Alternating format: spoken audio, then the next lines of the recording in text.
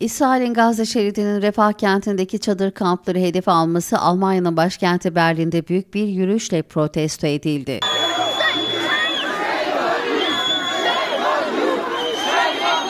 Oranan Plus meydanında toplanan göstericiler yürüyüş sırasında Scholz neredesin İsrail öldürüyor sen bakıyorsun.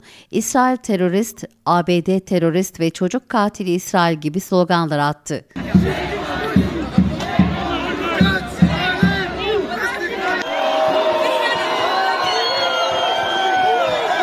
Almanya'nın İsrail'e silah satışına devam etmesine karşı çıkan göstericiler, Almanya Başbakanı Olaf Scholz başta olmak üzere hükümetteki siyasilere seslenerek İsrail saldırılarına yardım edenlerin bir gün hesap vermek zorunda kalacaklarını vurguladı.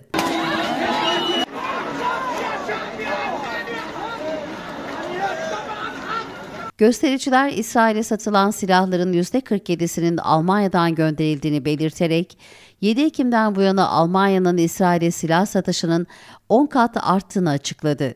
Satılan silahların %98'inin İsrail'in Gazze'de Filistinleri katletmeleri ve baskı altına almaları için kullanıldığını ifade eden göstericiler, bu silahlarla çocukların ve kadınların öldürüldüğünü aktardı. Göstericiler Almanya'nın sivil ölümlerine göz yumarak bu suça ortak olduğunu belirtti. Yaklaşık 3 bin kişinin katıldığı protestoda zaman zaman göstericilerle polis arasında gergin anlar yaşandı. Polise şişe ve yumurta fırlatılırken bazı göstericiler gözaltına alındı.